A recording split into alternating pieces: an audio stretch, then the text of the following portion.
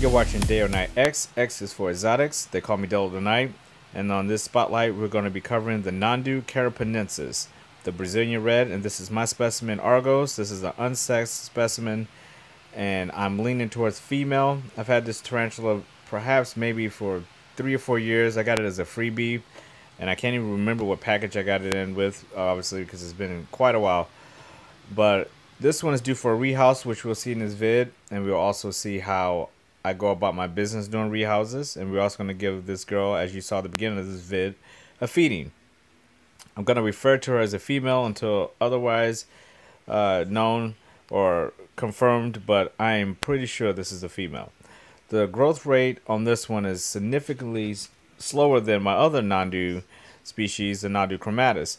This particular species has a much slower growth rate in order to rehouse this one, I actually had to go out and clean out a few tubs, not only for this tarantula, but a couple other tarantulas I would like to rehouse into new enclosures.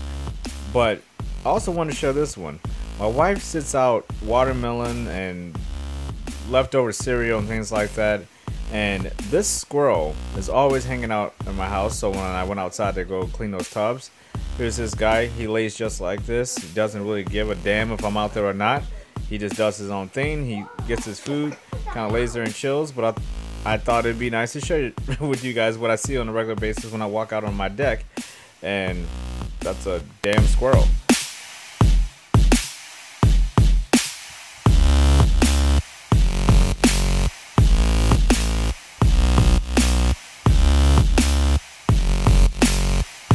While I was out there, I actually saw one of the tubs that I needed to clean out a long time ago, one of my BP tubs. Decided to clean this one out as well. I usually just go out on a nice day like this. It's very hot and humid. Just take it, hose them down. No big deal. We've all done this before.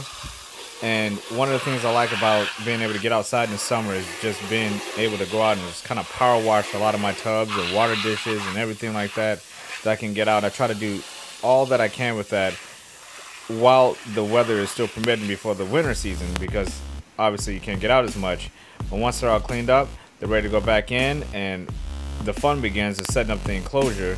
And like I said, this poor little guy, I mean, as long as we have food out there, we're always going to have a friend in this house. That squirrel, as you see, laying down again, just doesn't give a shit.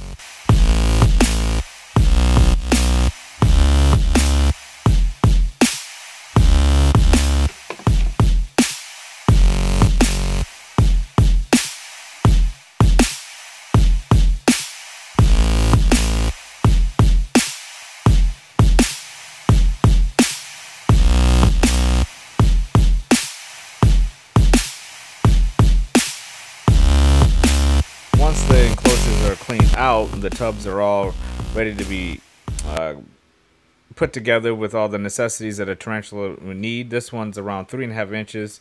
Argos used to excavate. She no longer does that. She's not as flighty as she used to be. And this is very similar to what I used to keep my Nhandu chromatus in.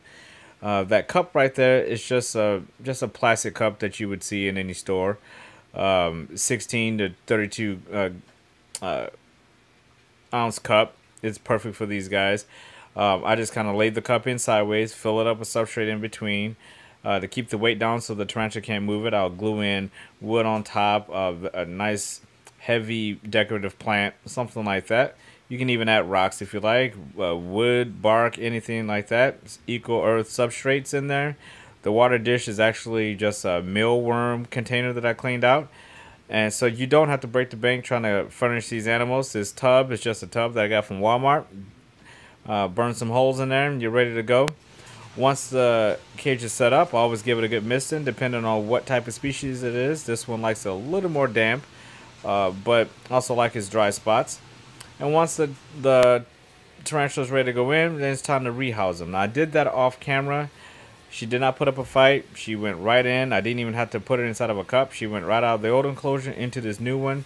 That mini critter keeper was uh, obviously way too small for her. So it was this is time for her to be able to utilize her new playground, which I believe she'll love. Again, this is a very similar setup that I had with my Nhandu chromatus at this exact same size.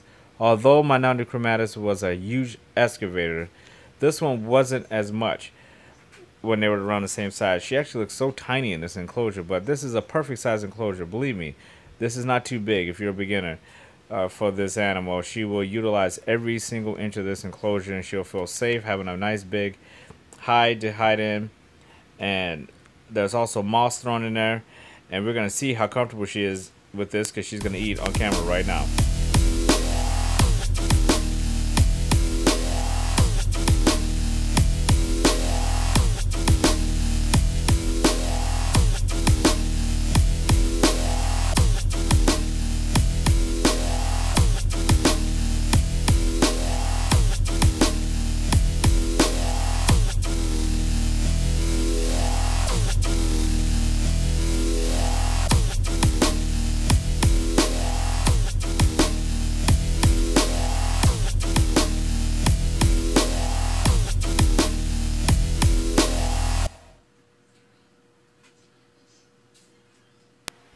As you can see, not even a rehouse would deter this beautiful animal from eating moments after she's been put into a new enclosure. She just really has always been great with that.